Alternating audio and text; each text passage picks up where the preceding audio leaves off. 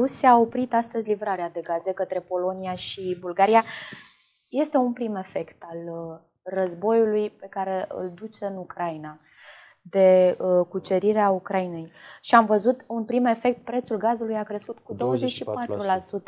Din păcate asta e problema. Sunt afectate și importurile, uh, importurile România, de gaze din România? Ăsta, de... La momentul ăsta România nu mai este dependentă de gazul rusesc pentru că consumul este scăzut pe perioada de vară și nu este nevoie de gaz rusesc. De fapt, noi nici n-am importat foarte mult gaz rusesc, procentual 10-20% maxim pe vârfurile de iarnă.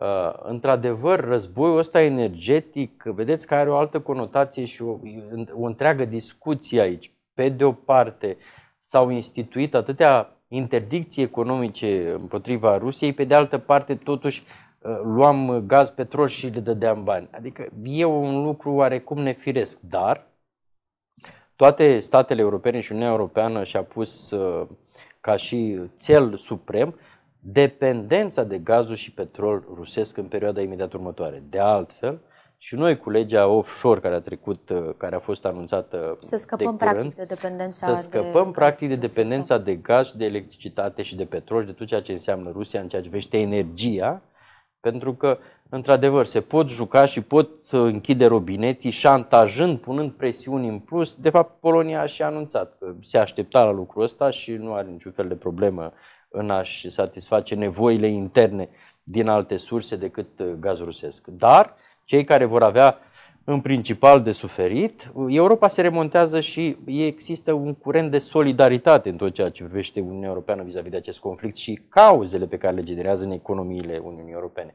Dar cei care vor avea de suferit, într-adevăr, vor fi rușii, pentru că ei se duc economic în cea mai adâncă și neagră prăpastie și nu cred că îi va ajuta nimeni prea curând să-și revină, având în vedere ceea ce au făcut unui stat independent și ceea ce fac în continuare. Dar totuși prețul gazului a crescut astăzi cu 24%.